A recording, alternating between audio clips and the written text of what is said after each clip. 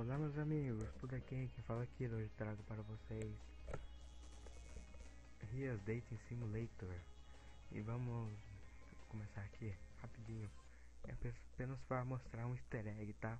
Pra quem não sabe, eu já lancei a versão em português, tá? Pra quem quiser baixar agora, pode baixar Bem, o easter egg é da Gazayuno Você sabe um, como apareceu o easter egg? Bem, é bem simples Logo nesse começo aqui, você vai fazer o seguinte vai vir aqui em cima, bem aqui, ó, no canto superior direito. Dá um clique. Puf. Yuki.